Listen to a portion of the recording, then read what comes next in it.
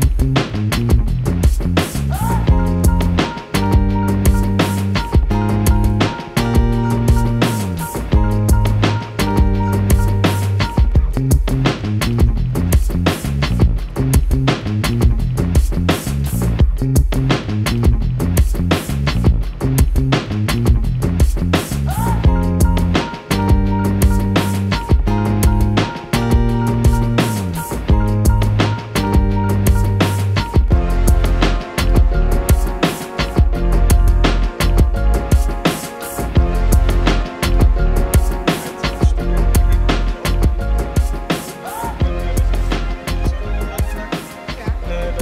Kunststudenten keine ordentliche Ausbildung mehr hätten. Wir würden uns jetzt freuen, wir richten uns mit einer Petition an den Landtag, ja. äh, dass die Professur möglichst noch besetzt wird.